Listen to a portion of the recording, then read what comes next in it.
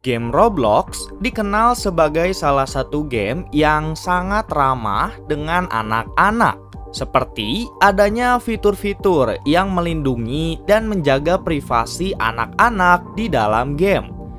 Tapi, tanpa Roblox sadari, ada oknum yang membuat sebuah game di Roblox, dan game tersebut adalah game yang sangat-sangat tidak pantas berada di Roblox.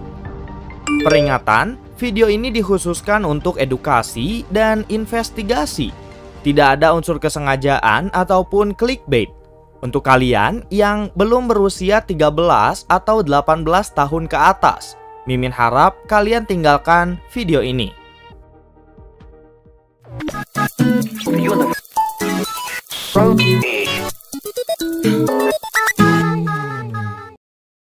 Oke, halo teman-teman Roblox dan Miminers.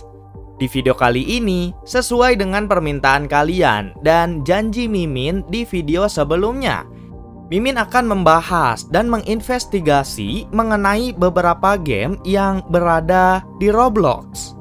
Beberapa game yang ada di video ini tidak akan Mimin sebutkan namanya, karena Beberapa game yang ada di video ini adalah game yang menampilkan kegiatan atau perbuatan yang tidak senonoh.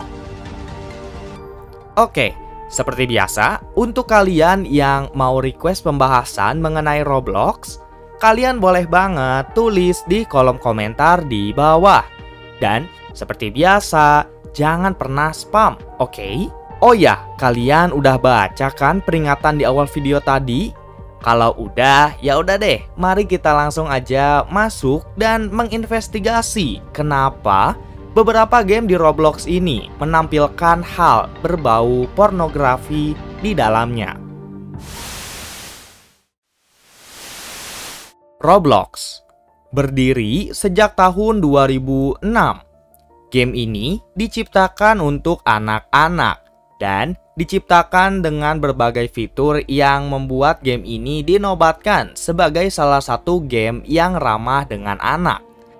Salah satunya adalah fitur yang dibuat oleh Roblox bernama Safe Chat, yang di mana anak-anak tidak dapat berkata kasar karena nantinya fitur Safe Chat ini akan menghapus atau mensensor kata-kata tersebut.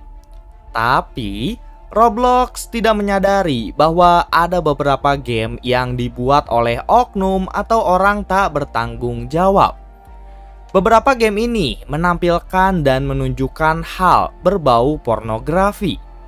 Hal yang sangat tidak pantas untuk anak-anak, apalagi di dalam sebuah game. Padahal, aturan-aturan yang tertulis di Roblox sangatlah ketat, yang di mana kita bahkan tidak diizinkan untuk melakukan hal yang sudah diatur di dalam aturan di Roblox. Karena jika kita melanggar akan ada hukuman atau sanksi terhadap akun di Roblox kita. Tapi entah kenapa beberapa game yang berbau pornografi ini masih bisa. Bahkan banyak yang mencari game ini di Roblox.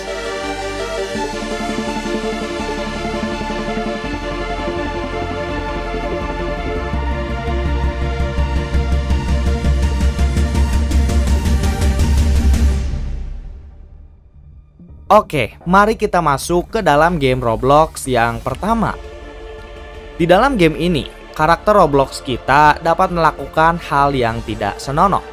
Ada beberapa gerakan atau animasi yang dapat dipilih oleh player. Oh ya, karakter kita di dalam game ini juga tidak menggunakan pakaian. Dan sudah pasti, game ini adalah game yang sangat-sangat tidak baik untuk dimainkan. Satu hal lagi, bahwa di dalam game ini kita akan bertemu dengan banyak orang di Roblox.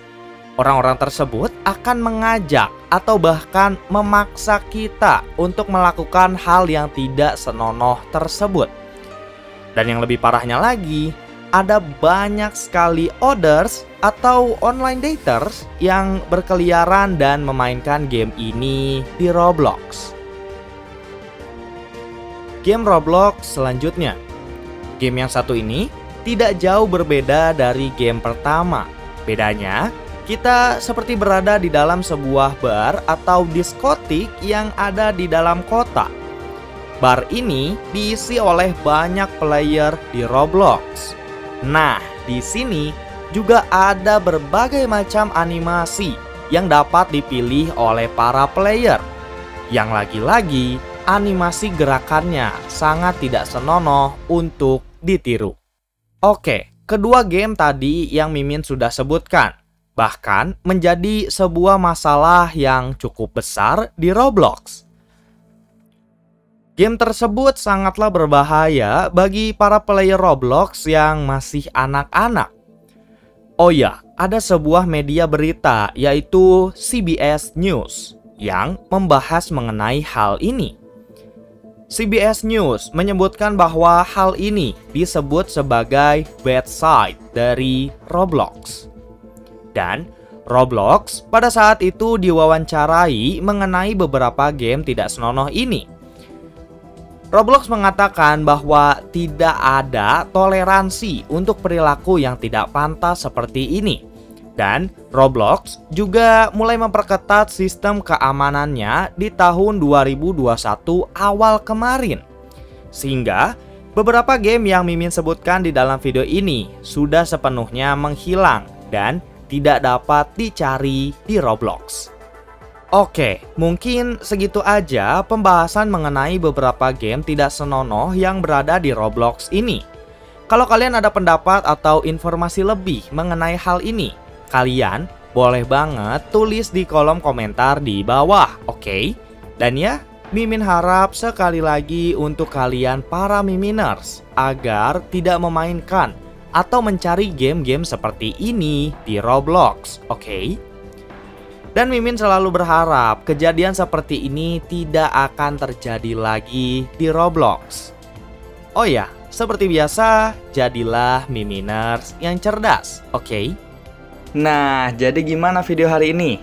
Kalau kalian suka dan terhibur, jangan lupa klik tombol like-nya ya. Dan komentar jika ada kesalahan dalam penyampaian informasi pada video kali ini. Terima kasih juga yang sudah menonton video ini sampai habis. Dan kita akan bertemu lagi pada video berikutnya. Sekali lagi, terima kasih dan bye-bye.